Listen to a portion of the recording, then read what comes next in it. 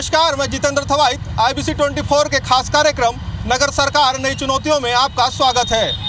आज हम बात करेंगे नगर सरकार की, बिलासपुर की जनता ने रामशरण यादव को मेयर बनाकर शहर विकास का जिम्मा सौंपा है। प्रदेश का दूसरा बड़ा शहर होने के कारण बिलासपुर में कई संभावनाएँ हैं तो उतनी ही चुनौतियाँ भी हैं, जिसे मेयर और उनकी नई टीम को पूरा करना है। आज हम अपने खास पेशकश के ज़रिए इन्हीं संभावनाओं और चुनौतियों पर बात करेंगे। तो आइए शुरू करते हैं अपने खास पेशकश की।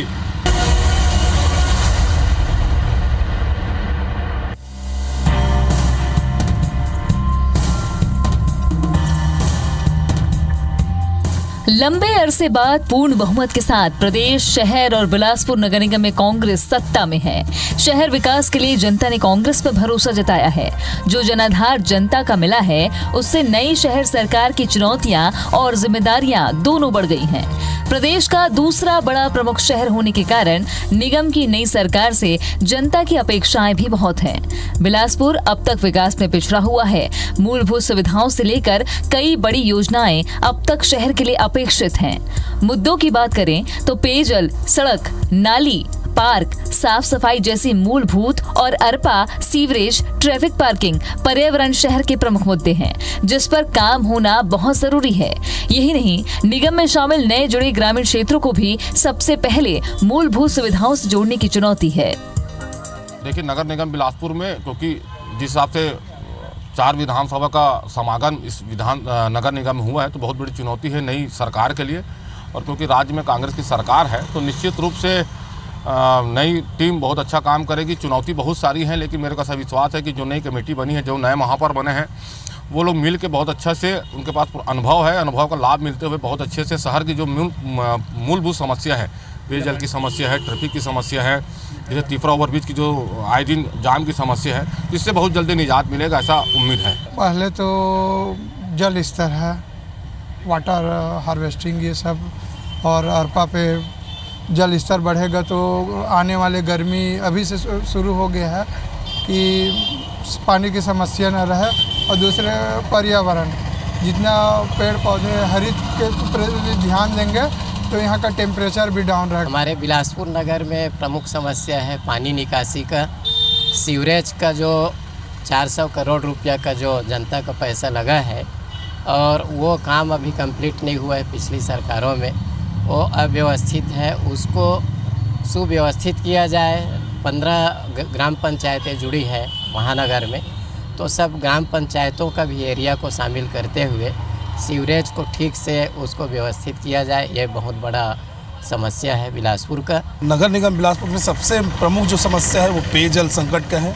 और निश्चित तौर पर जो नई टीम अभी चुनाव जीत कर आई है, उनको सबसे पहली प्राथमिकता पानी पर देना चाहिए कि लोगों को पीने का पानी मिल सके, साफ़ सफ़ाई हो सके, लाइट की व्यवस्था हो सके, जो मूलभूत सुविधाएँ हैं, लोगों को जो चाहिए, वो उसके विषय में लोग काम नई टीम से एक निवेदन है कि जगह जगह चौक चौराहे पर पेड़ पौधे लगाने की व्यवस्था करें और आने वाले समय में जो गर्मी आने वाली है, उस समय चौक चौराहे पर पीने की पानी की समुचित व्यवस्था करवाएँ और साथ में जगह जगह चौक चौराहे पर शौचालय की व्यवस्था करवाएँ, जिससे कि शहर और नगर हमारा साफ़ सुथरा बना रहे। आप सभी पार्षद महोदय और उनके जो संबंधित साथीगण उनसे ही निवेदन है कि अपने अपने क्षेत्र पर विशेष कार्य करें और विशेष तौर पर पर्यावरण, जल और शौचालय के लिए अतिरिक्त समय देकर कार्य करें। वैसे समस्या तो बहुत सारी है, पर अरपा नदी की जो समस्या है, ये सबसे बड़ी समस्या है, क्योंकि जो बिलासपुर शहर का जो गिरता हुआ जल स्तर है उसको बरकरार रखने के लिए, उसको सही रखने के लिए अरपा नदी में बारहमासी पानी होना ज़रूरी है। जिसका प्रयास हम अरपा मैया भक्तजन समिति पिछले कई वर्षों से करते आ रहे हैं। सरकार को, प्रशासन को जगाने का कार्य अरपा मैया भक्तजन समिति द्वारा पिछले कई सालों से चल रहे हैं। उसके बाद भी अभी तक के हम लोगों को अरपा नदी में काम करता हुआ कोई निगम का या कोई आला अधिकारी नहीं दिखा है। बस पेपर में और कागज़ी कार्रवाई में ही अरपा की विकास हो रही है। शहर की जनता से जब हमने शहर की प्राथमिकताओं को लेकर बात की तो हर वर्ग ने प्रमुख तौर पर शहर में पेयजल, अरपा नदी, सड़क, पार्किंग, ड्रेनेज सिस्टम, शिक्षा, स्वास्थ्य, पर्यावरण और साफ़ सफ़ाई के मुद्दे को सबसे आगे रखा। लगातार गिरते जलस्तर के कारण पेयजल संकट शहर की सबसे बड़ी समस्या बनकर सामने आई है। अरपा की बदहाली, जिसका एक प्रमुख कारण है। ड्रेनेज की समुचित व्यवस्था नहीं होने के कारण नालों का पानी अरपा को प्रदूषित कर रहा है। सड़कों का मेंटेनेंस भी शहर की प्राथमिकता में है। शहर की ज़्यादातर सड़कें बदहाल है। ट्रैफ़िक और पार्किंग विकसित शहर की एक और बड़ी समस्या है। प्रमुख बाजारों में पार्किंग की कोई व्यवस्था नहीं है। ड्रेनेज नालियों के जाम होने के कारण बारिश में जलभराव की समस्या शहर को विकास की मुख्यधारा से पीछे धकेल रही है। शहरीकरण का सबसे ज़्यादा असर पर्यावरण पर पड़ा है, जिस पर भी विचार करने की आवश्यकता है। स्वास्थ्य और शिक्षा व्यवस्थाओं पर भी जनता आमूल चूल परिवर्तन चाहती है। साफ़ सफ़ाई की कमी शहर की सूरत बिगाड़ रही है। तमाम मुद्दों को जनता ने प्राथमिकता में रखा है। जनता चाहती है कि नई शहर सरकार भी प्राथमिकता में रखकर इन पर काम करे। शहर की समस्या काफ़ी वाकई बहुत ज़्यादा समस्या है और जैसे यातायात से से समस्या है और जैसे आपका साफ़ सफ़ाई की समस्या है तो ये समस्या का समाधान होना चाहिए। ट्रैफ़िक व्यवस्था जो शहर की बहुत ज़्यादा ही मतलब परेशानी व्यक्त करने वाली है। इतने वर्षों में शहर की ट्रैफ़िक व्यवस्था बिल्कुल दुरुस्त नहीं हो पाई।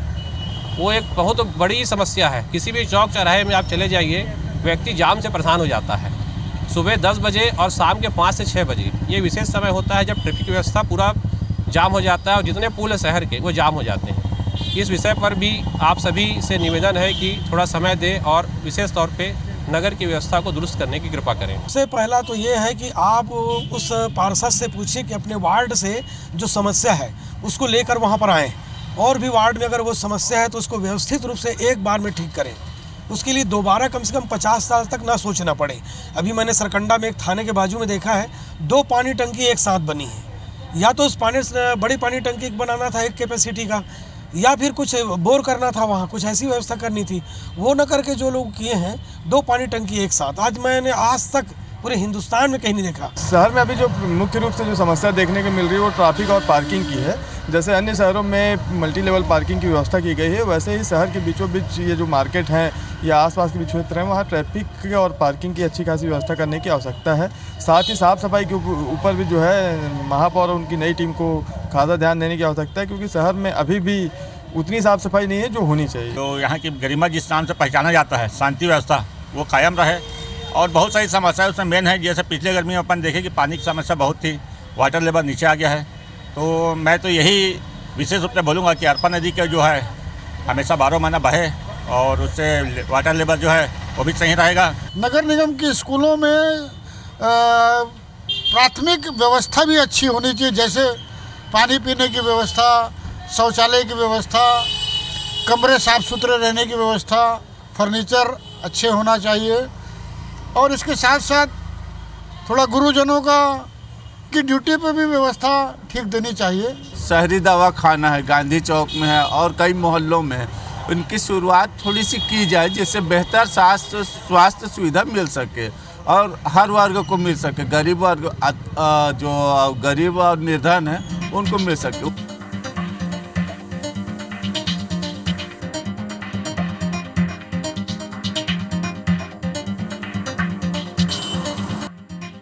जनता की प्राथमिकताओं के बाद नई निगम सरकार और मेयर से जब हमने शहर को लेकर उनकी प्राथमिकता पर बात की तो उन्होंने जनता की प्राथमिकताओं के आधार पर ही अपनी प्राथमिकताएँ तय करने की बात कही है।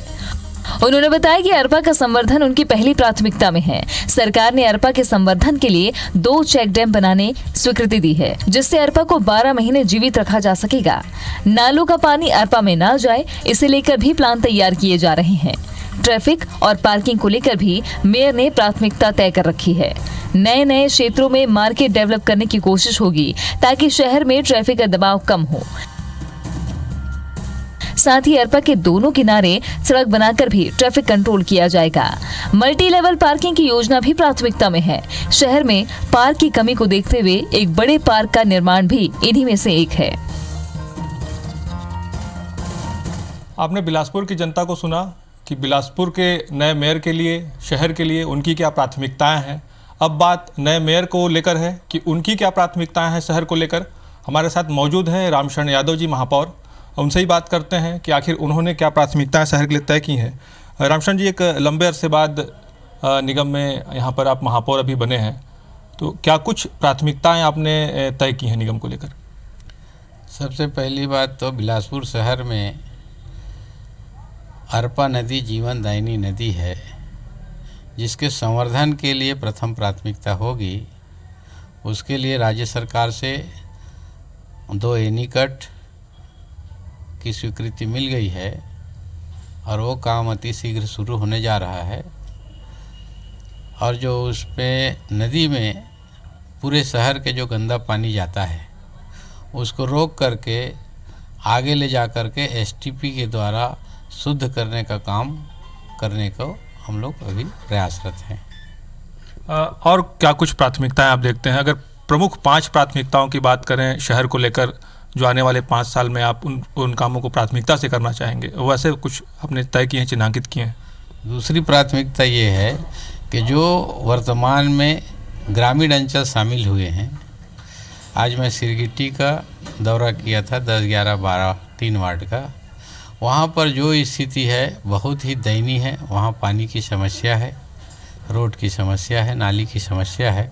चूँकि शहर लंबे समय से नगर निगम है इसलिए वहाँ कुछ सुविधाएँ तो हैं लेकिन ग्रामीण अंचल जो अभी वर्तमान में जुड़ा है चाहे वो सिरगिट्टी हो चाहे सकरी हो चाहे कोनी हो चाहे देवरी खुर्द हो ये सभी जगह मूलभूत सुविधाएँ भी उपलब्ध नहीं हैं वो प्रथम प्राथमिकता में आएगा। कई योजनाएँ अधूरी हैं इसको लेकर कैसे प्रयास होगा आगे?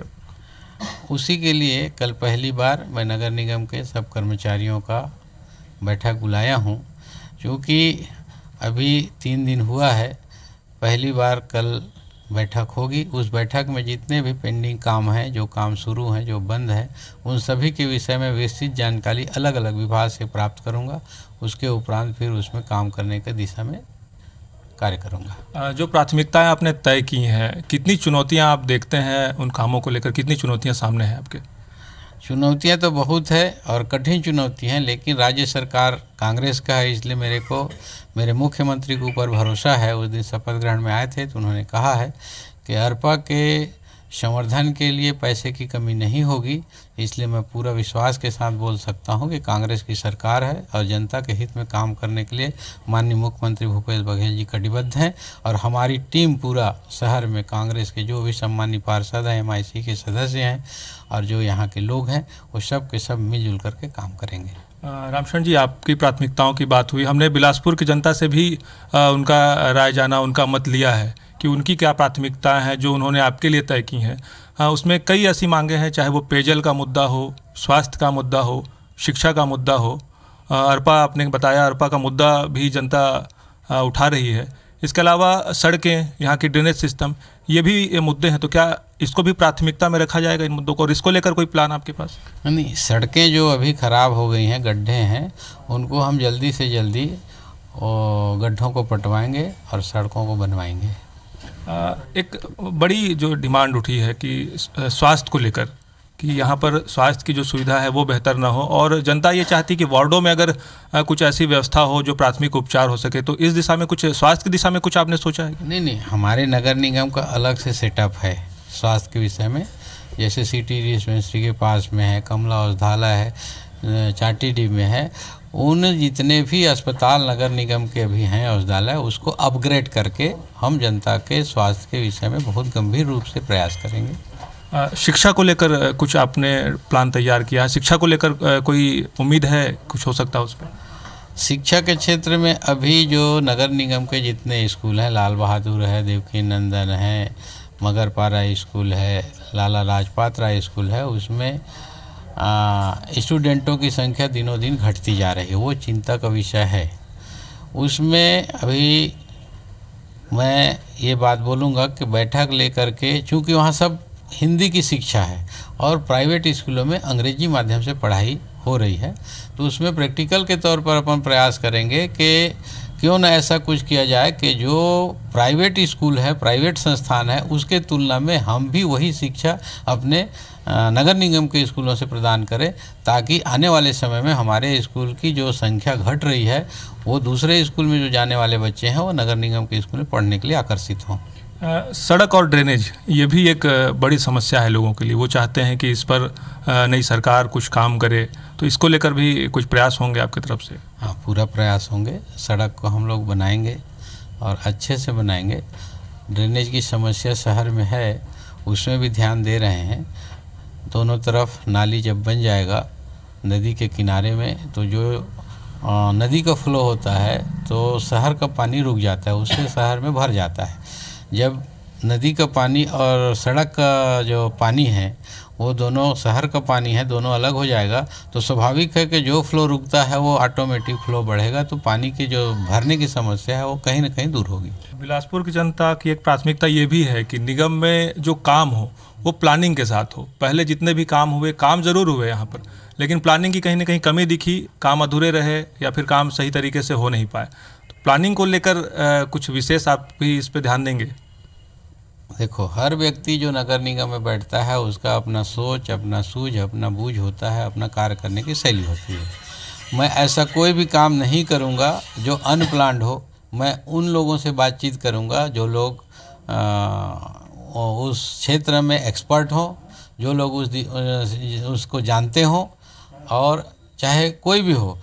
ये मैं बोलना चाहता हूँ कि जब तक के वो जिस चीज़ के, चाहे वो रोड का हो, चाहे किसी भी चीज़ का हो, जब हम प्लान बनाएँगे तो उसमें एक्सपर्ट लोगों के द्वारा सुझाव आएगा। उस सुझाव में अधिकारियों के साथ बातचीत करके उसको हल करेंगे, तभी लंबे समय के लिए एक अच्छा प्लान बन सकेगा, ऐसा मेरा मानना है।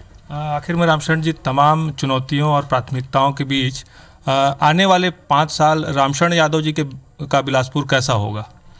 मेरा अपना सपना है ये बिलासपुर को आने वाले पाँच साल में ऐसा कुछ करके जाना चाहता हूँ, ताकि काम कर गुजरूँ और लोग इस बात को याद रखें कि कैसा मेयर आया था जो इस शहर को चमन बना दिया।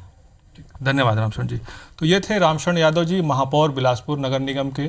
और इनकी जो प्राथमिकताएँ हैं, जनता की जो प्राथमिकताएँ हैं, उससे अलग नहीं है। रामशरण यादव जी ने भी उन्हीं प्राथमिकताओं को सबसे आगे रखा है, सामने रखा है और वो भी चाहते हैं कि बिलासपुर का समुचित विकास हो। बिलासपुर में जो मूलभूत समस्याएँ हैं, चाहे वो पानी, सड़क बिजली के हों। इसके अलावा जो प्रमुख मुद्दे यहाँ के हैं वर्पा का मुद्दा शामिल है इसमें। शिक्षा की बात हो, चाहे स्वास्थ्य की बात हो, तमाम मुद्दों पर रामशरण यादव का फोकस है और वो चाहते हैं कि इसी मुद्दों को लेकर, इन्हीं मुद्दों को लेकर आगे पाँच साल वो काम करें और बिलासपुर को एक अलग पहचान दें। बिलासपुर को लेकर जनता और नए महापौर की प्राथमिकताओं के बीच नई निगम सरकार के सामने चुनौतियाँ बहुत है। अब देखना होगा, आने वाले दिनों में जनता की इन प्राथमिकताओं को कितनी प्राथमिकता मिलती है और शहर का कितना विकास होता है। तो आपने देखा किस विश्वास और उम्मीद के साथ बिलासपुर की जनता ने मेयर रामशरण यादव और उनकी टीम को शहर का कमान सौंपा है। कई चुनौतियाँ हैं जिस पर यदि काम किया गया तो बिलासपुर अपनी एक अलग पहचान बना सकता है। अब देखना होगा, अपने कार्यकाल में मेयर रामचरण यादव और उनकी टीम किस तरह काम करती है और जनता से किए वादे कितने पूरे होते हैं। कैमरामैन नरेंद्र मार्कंडे के साथ जितेंद्र थवाइत आई बी बिलासपुर।